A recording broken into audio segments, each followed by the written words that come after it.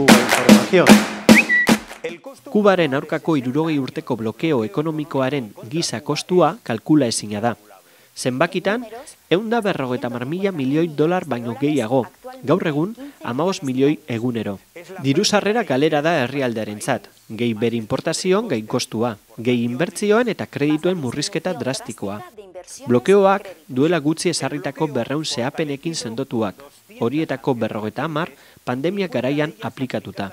Euste faktore partzialak izan zituen urte askoan, ala nola, Sovietar batasunarekiko edo Venezuelarekiko lankidetza. Lehenengoa ez da existitzen, bigarrena blokeo anker bera jasaten ari da orain. Gerra hau justifikatzea, relatibizatzea, baita ukatzea ere, nahazita egoteagatik edo engainatua izateagatik, borreroaren alde jartzea da. Ez zaitzatela engainatu, esan dezagun argi eta garbi. Baiden, zital hori, arrezia ireki.